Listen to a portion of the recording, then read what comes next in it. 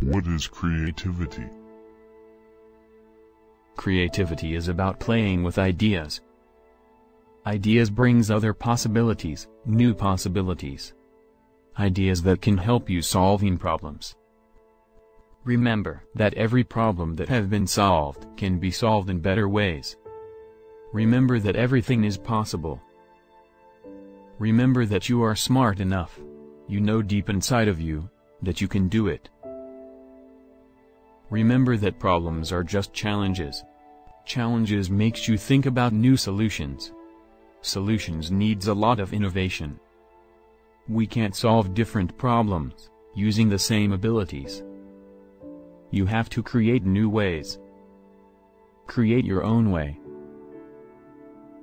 Be childish, be ambitious. Be wrong, be wild, be optimistic. Don't give up.